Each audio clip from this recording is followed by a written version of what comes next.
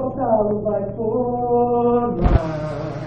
Aí vem a fecundação, zigoto vai surgir, dando uma nova geração Diz por esporófito grandão, é e o tempo vai passar, o ciclo a reiniciar.